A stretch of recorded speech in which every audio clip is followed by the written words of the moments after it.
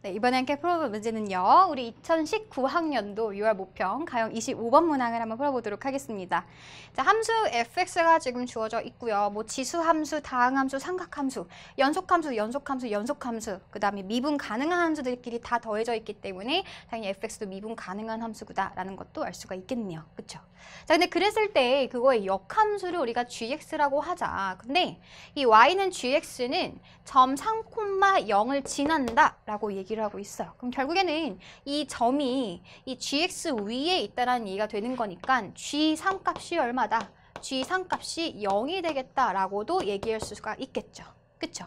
그럼 우리가 이 역함수에 대한 조건이 나면 사실 이제 문제에서 필요할지 모르겠지만 우리가 f에 대한 함수값도 읽어낼 수가 있어야 돼요. 그러니까 g가 f 함수의 역함수기 때문에 거꾸로 f에다가 뭐를 넣으면은 f에다가 0을 넣으면은 3이 되겠다라는 힌트도 우리가 자동적으로 얻어낼 수가 있는 겁니다. 네, 그래서 역함수에 대한 얘기가 나오면 우리가 이제 왔다리 갔다리 할 수 있어야 돼요. 괜찮죠? 어쨌든 자 그랬을 때 우리는 x가 3으로 갈 때 gx 빼기 g3분의 x 빼기 3의 값을 구하자라고 했어요. 그러면 이 식의 이제 극한값의 의미를 항상 좀 살펴봐야 되는 거에 지금 보니까 굉장히 익숙한 식이 나왔죠. 그쵸? 근데 어떻게 됐으면 좋겠어?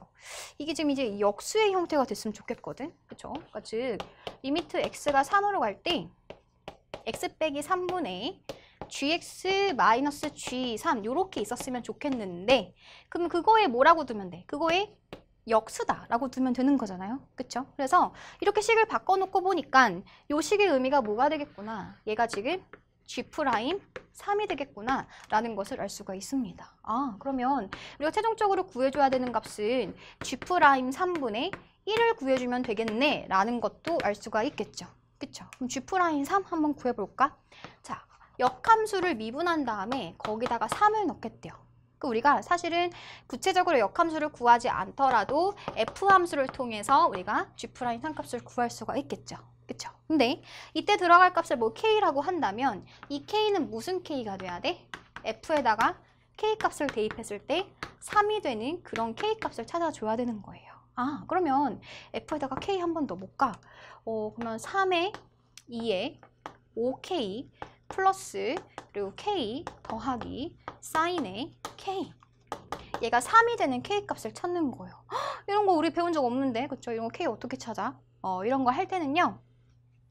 우리가 이제 어려운 K 값이 안 나올 거예요. 뭐 0이라든지 이런 거 한번 넣어보는 거예요. 그러니까 사실은 이런 방정식을 우리가 푼 적이 없기 때문에 식을 비교하면서 가는 수밖에 없는데 일단 3이 있잖아. 그쵸? 그러면 여기가 지금 1이 됐었으면 좋겠는데 그럼 지수값이 0이 돼야 되는 거니까 K값 0 같은 거 생각해 볼 수가 있어요. 그치? 근데 0 실제로 넣어보니까 0 더하기 사인 0은 0인 거니까 아 식이 만족하는구나 라는 것을 읽어낼 수가 있겠죠. 네, 그래서 결국에 우리가 구하는 K값은 0이 됐던 거고 우리는 F prime 0분의 1을 구해주면 되겠구나 라는 것도 알 수가 있겠네요. 괜찮죠?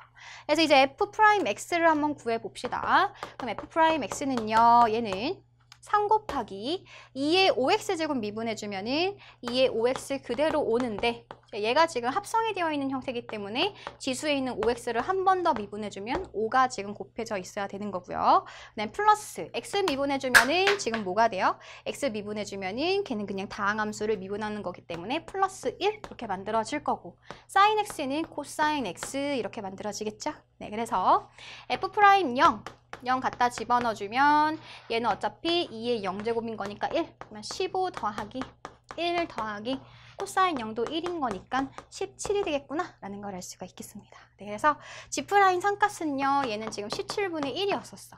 그러니까 우리가 최종적으로 구해줘야 되는 것은 17분의 1을 뭐 해줘야 되는 거니까 17분의 1을 역수를 취해줘야 되는 거니까 우리가 원하는 답은 17이 되겠다라고 구해줄 수가 있겠습니다.